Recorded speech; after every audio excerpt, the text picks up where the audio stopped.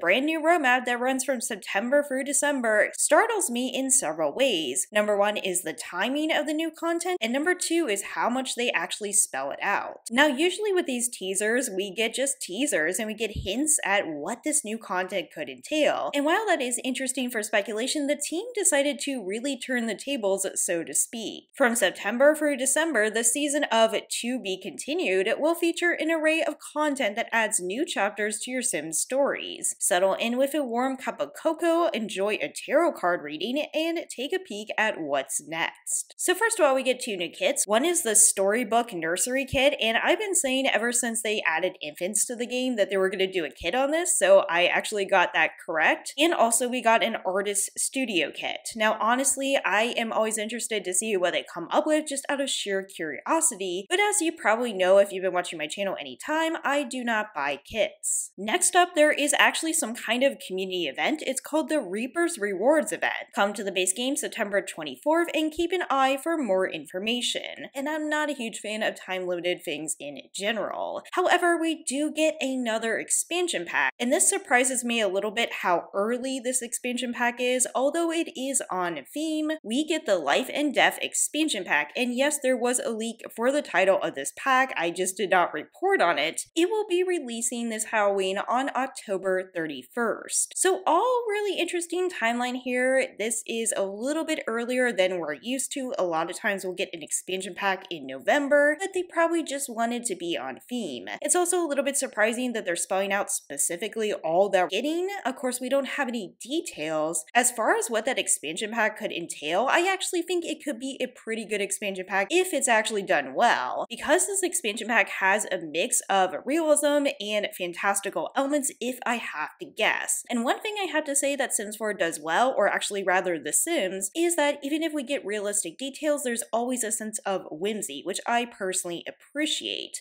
It could harken back to some ideas left over from Happy Haunts. Now, obviously, we got a few of the, these concepts with the paranormal stuff pack, but people at the time said they wanted it expanded more. Now, I know people are going to say, well, paranormal stuff pack should have been in this expansion pack. I get it, but my guess is they didn't actually plan on making a life and death expansion pack and realized that there was actually demand for it. However, as a disclaimer, in a future game, I want one pack that covers all life stages and also life and death. How amazing would that be? I actually will be doing another video if I can remember, talking about the problem that Sims 4 constantly runs into. So that criticism aside, and I think that criticism is very valid, I do admit that I am pretty interested in this theme this time around. Of course, we also can expect a bunch of bug fixes coming soon because we just got a laundry list. As always, please take care and I'll see you soon.